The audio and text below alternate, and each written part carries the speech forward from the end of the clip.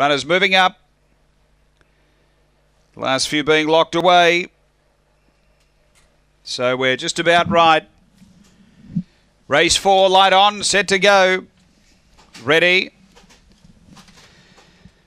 Racing. And Luna Luna off the inside left well. Uh, there's some speed here out wide. We've got Shaky Sally charging around them. Just Ruby in behind. Then came Jack's Kiss. Next is our Cosmic Diva. A breakaway Kenley Power. Then Zipping Freya. And Topher G back at the tail end. Up to the turn. Shaky Sally two. Clear of Just Ruby. Then Luna Luna. Shaky Sally in front. And Shaky Sally uh, beats Just Ruby. Third Luna Luna. Behind those came Jack's Kiss from our Cosmic Diva.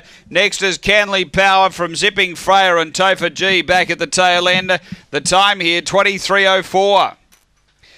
After the running of race number four, numbers are 8, 2, 1 and 5.